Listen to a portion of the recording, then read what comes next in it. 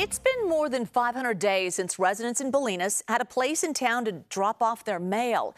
A year ago, we reported that the West Marin town had lost its post office over a dispute with a building owner. People had to drive 12 miles north to an even smaller town just to drop off their mail. But now, as John Ramos reports, there's new hope for a solution. In the small town of Bolinas, most people do not get mail delivered directly to their home, so it was a big deal when the local post office closed abruptly. But no one could have guessed it would take this long to resolve the matter.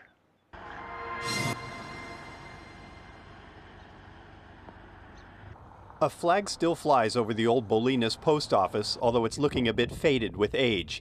The Postal Service suddenly closed the office in March of last year in a lease dispute with the building's owner that may have involved asbestos floor tiles. Yeah, we had less than two weeks notice of our post office closing, and it's a vital part of our community. Most people here don't get home delivery, so they were forced to drive 40 minutes round trip to the post office in Olema to get their mail. I mean, we thought it might take you know, maybe three to six months to resolve.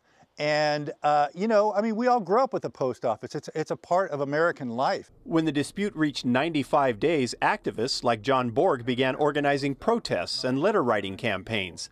But the wheels of progress grind slowly at the United States Postal Service, and now, 561 days later, there is still no post office in Bolinas. I would say Frustrating and unfair are words that come to mind. But how long can you be frustrated?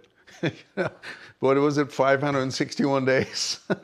I wasn't for the first days. I thought there was a good reason for it, but at some point in time it becomes ridiculous.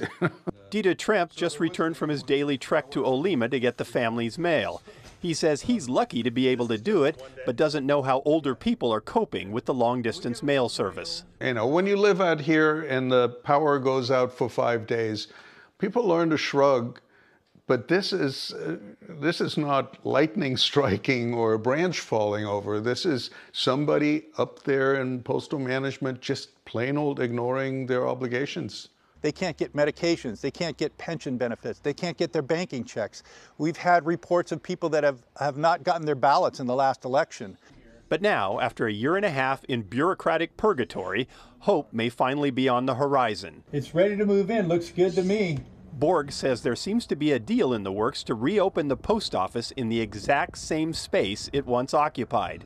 There's no timeline given for the reopening, and Howard Dillon, who's described as the town's poet laureate, says he's not holding his breath. It's just a level of, of insanity and incompetence that is beyond belief. If it's coming back soon, that will make me very happy.